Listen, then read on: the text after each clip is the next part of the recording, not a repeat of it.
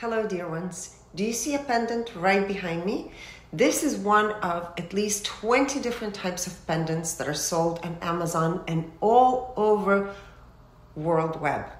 And why am I talking about it? I was just informed about the study that just came out about the dangers of the quantum scalar energy pendant. Many of you are probably buying into thinking that these pendants are going to harmonize your field, that are going to, this is what the promise says, right? That it's going to support your overall health and well being, as well as block EMF.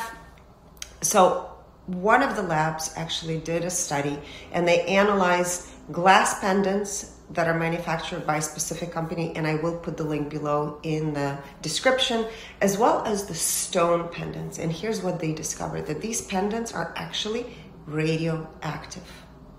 That's right, they're radioactive. So, in fact, by wearing such a pendant, you're exposing yourself to almost three times the normal dose of radioactive substance that is the maximum threshold of what is okay for the human body. This is crazy. So they found thorium, uranium, and radioactive potassium in those pendants. Please be informed.